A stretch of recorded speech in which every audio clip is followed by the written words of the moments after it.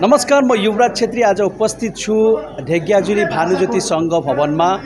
असम नेपाली साहित्य सभा सुनितपुर जिल्लाको उद्योग तथा ढेग्याजुली शाखा समितिको सहयोगमा आज नेपाली भाषा मान्यता दिवस। बत्तिसौँ नेपाली भाषा मान्यता दिवस पालन कार्यसूची चल्दैछ र त्यसमध्येबाट आफ्नो आवाजको सम्पूर्ण दर्शक महानुभावलाई म युवराज छेत्रीले फेरि नेपाली भाषा मान्यता दिवसको शुभेच्छा ज्ञापन गर्दै भित्रतिर गएर केही भिजुअल दृश्य ल्याउन प्रयास गर्छु। स्वीकृति पाएको भयो।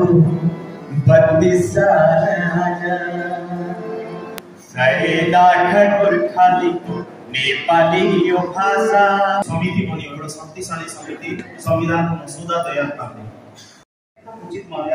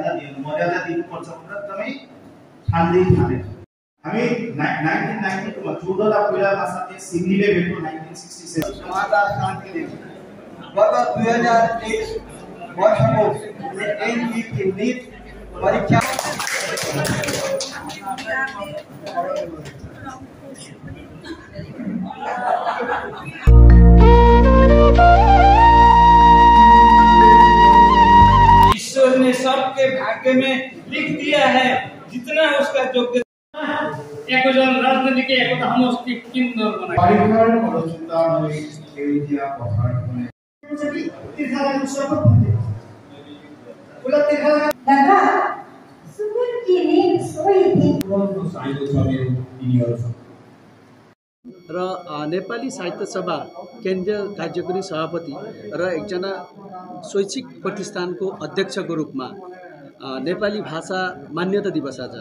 र भोलिको दिनमा छात्र छात्राहरूलाई पठन पाठनको लागि कति आशाजनक भोलि हामीले निर्माण गर्न सक्छौँ होला? धन्यवाद।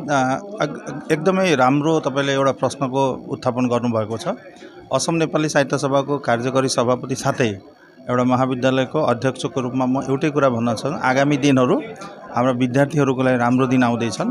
एउटा कुरा विश्वनाथ महाविद्यालयमा गुवाहाटी विश्वविद्यालयको पहिलो महाविद्यालय हो जसमा यस वर्षदेखि नेपालीमा मेजर कोर्स चाहिँ सुरु भइसकेको छ र खुसीको कुरा के भने उन्नाइसजना विद्यार्थीले नेपाली मेजरमा एडमिसन लिइसकेका छन्। आगामी सत्र जनवरीदेखि नै एकदम सम्पूर्ण सम्भावना छ के के ह्यान्डिक स्टेट ओपन युनिभर्सिटीमा जुन डिस्टेन्स लर्निङ मोडमा। र यहाँ ढेकियाजुलीको बिहा बिहानको जुन परि कार्यक्रम थियो झन्डा उत्तोलन त्यसबेला पनि मैले एउटा कुरो गरेको थिएँ। ढेकियाजुलीमा आजभन्दा बिस वर्ष अगाडि हाम्रो यस्तो समाज थिएन टाउन। असम नेपाली साहित्य सभा ढेकाजुली शाखाको सो- सहयोगमा असम नेपाली साहित्य सभा सोनितपुर जिल्लाको आह्वानमा हामीले बत्तिसौँ भाषा मान्यता दिवस यहाँ सम्पन्न गर्न जाँदैछौँ। बहुभाषिक कवि गोष्ठी यहाँ सम्पन्न हुँदैछ र मेरो एउटा छोटो कविता भाषालाई लिएर मेरो भाषा म तपाईँहरू समक्ष पाठ गर्दैछु। ताते ताते गर्दै पहिलो बोली फुटेको मेरो भाषा। ठुलो पिर पर्दा मेरो मुखबाट अनायास निस्केको मेरो भाषा। धरती